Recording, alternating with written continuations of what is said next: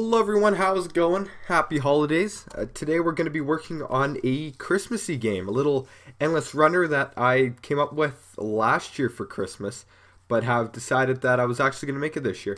So this is, yeah, you might have seen this on the Facebook page. Um, let me show you a little bit of what we're making.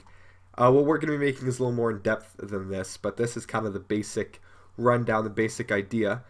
So it is a little, it's just going to load here. There is some music, but I I think it's muted. Uh, if it's not, you may not be able to hear me too well. We'll find out. Audio takes so long to compile. Alrighty, here we go. So it's Little Endless Runner. You play as Santa, and you're not just running on roofs. You actually uh, you get points by throwing presents into chimneys. Uh, there's a bit of snow, so we're going to learn a few things here. Uh, snow's not done with particles, by the way, but we're going to learn a bit about getting this kind of rooftop and chimney kind of random effect going on. Uh, we're going to do a bit of platform movement. We're going to do a bit of collision checking because of course we need to get the presents into the chimneys. And we're also going to maybe experiment. Sorry about that, guys. Um, experiment. I can't. Why can't I say this word? We're gonna play around with uh, some power-ups. I'm thinking maybe some candy canes that Santa can collect to, I don't know, move faster, jump higher, We'll, have to find out. We'll have to see what you guys are into. Um, because Christmas is just around the corner, it's about, at the time of recording this, it's 15 days away. Uh, these videos have be coming out uh, quite often, uh, purely because it kind of, I kind of wanted to have it done before like the 20th, so that gives us 10 days. So I'm thinking this is going to take four or five parts, so that'll be like a video every day or two. Um, now I die. So you die and it says you fell, presents delivered, and then you can play again. So that's the basic rundown. Um, yeah, uh, I say we just jump right into it, and I hope you guys uh, will stick around and maybe learn a bit about how to create this little uh, Christmas game. Alrighty, so we're here, we're inside a brand new file, where, well I say brand new. Um, I have set up this kind of, it's a bit of a starter pack. Um, it just comes with the Santa sprite that I did and the rooftop sprite um, purely because it took me quite a while. Art's art's not my main my, my main thing. It's not a, a skill of mine that um, I hold strongly. It's not. It's yeah. So these took me a, quite a long time to get these sprites done, and the roof sprite didn't take too long, but I had to find some images and stuff and edit it.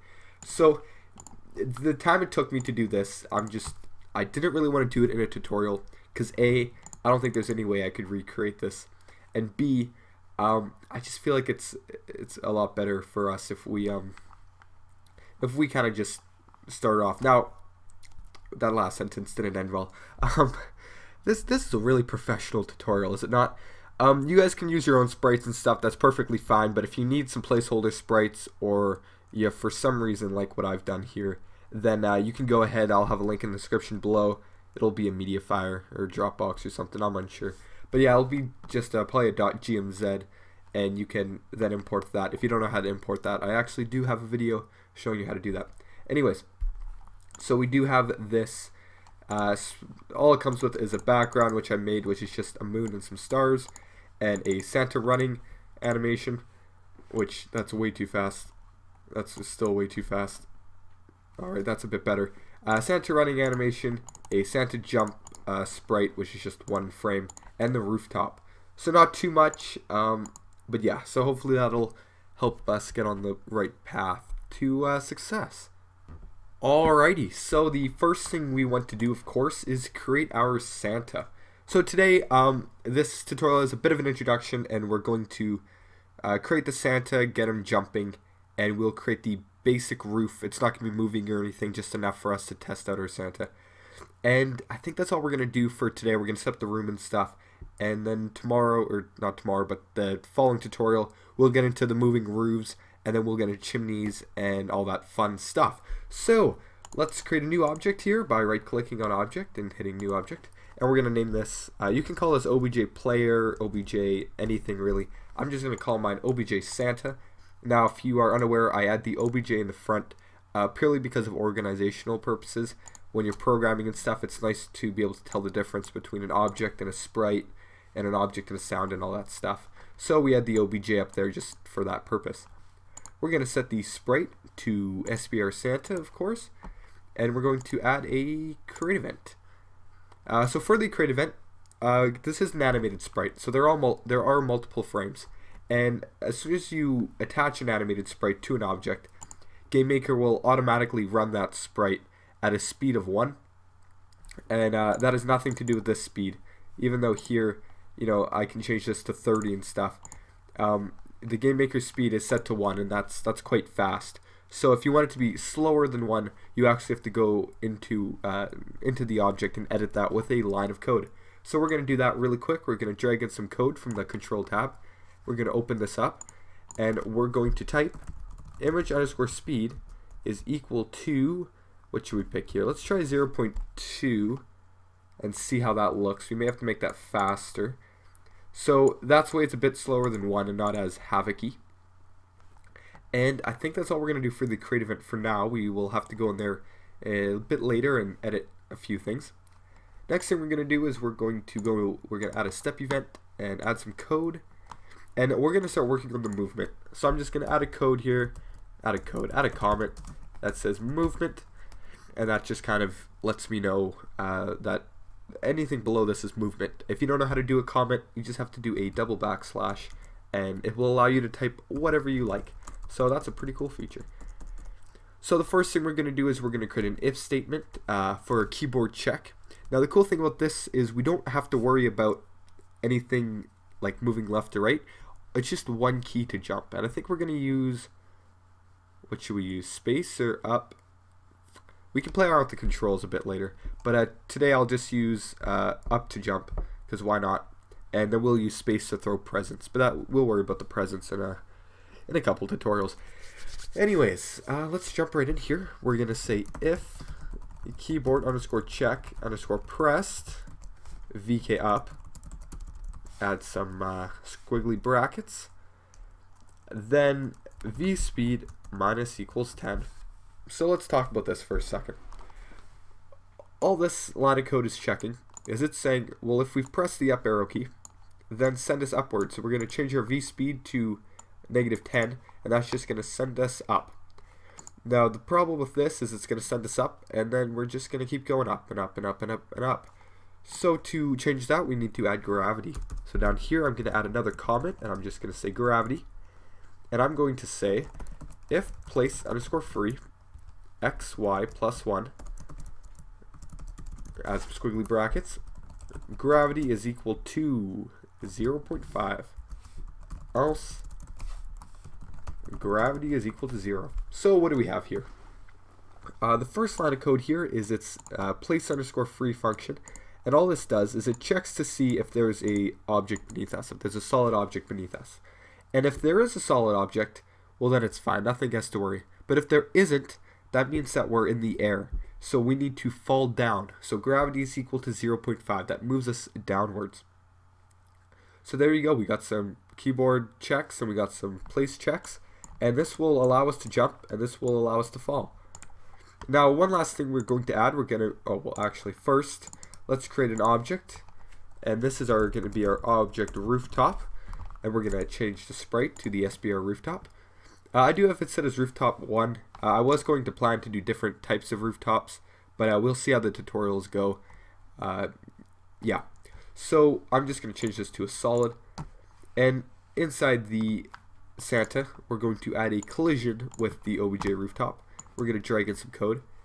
And we're just going to say move underscore contact solid direction. We'll say, is it 12? Yeah, we'll say 12. Uh, we may have to change that in a bit, uh, depending on how that how that looks.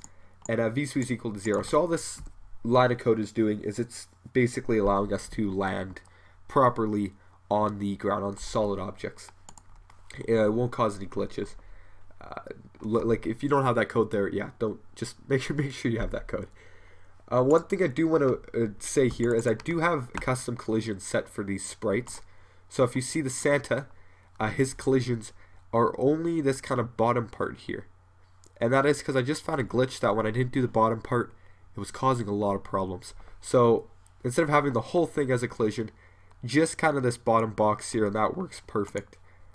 Uh, Santa Jump, I believe, yeah, same here, just the bottom. And the rooftop is an interesting one. It is just this tiny strip here. Just this tiny strip up top. Because once again, it was causing problems when the whole thing was a collision. Um, like when the whole thing was collidable. So we just have that one strip, and that makes it extremely, extremely uh, non-buggy, and makes it easier for us. So if you don't know how I did this, uh, all I did is I changed this to a rectangle. This also, first off, makes it a bit easier for the player, because uh, that way, you know, they, they don't have to land exactly, they get a bit of leeway. Um, I, so bounding box, you just change this uh, from automatic is usually what it will be default at. You change that to manual, and then you can just drag, uh, click and drag uh, the collision box around. You can edit the values exactly here using these numbers.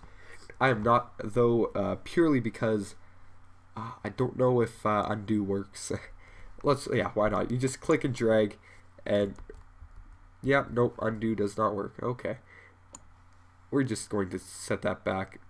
Click and drag, you set where you want the collisions to be, and basically anything that's not this kind of bright white, it's kind of the darker grayish transparency, that is uh, collidable. So that is something that you will collide with.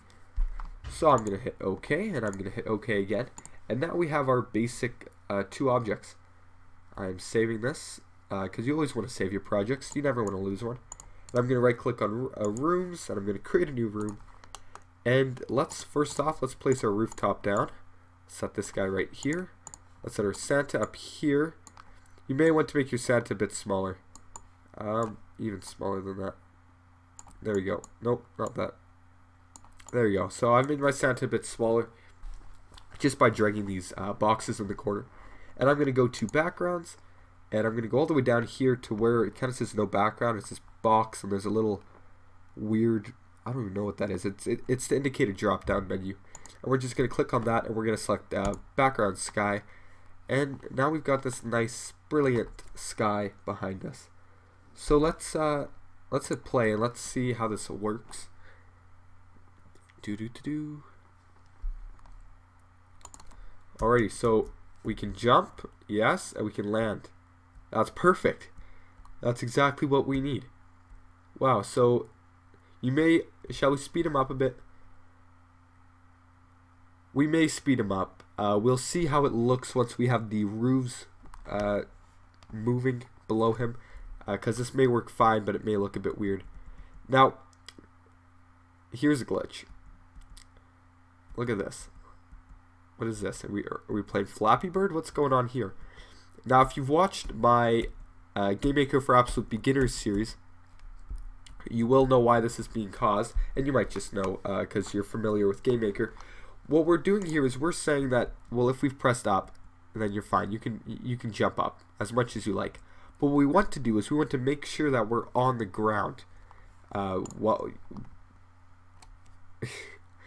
my brain stopped working there for a moment. We want to make sure we're on the ground so that when we jump, we can't do what we've done there and just jump constantly in the air.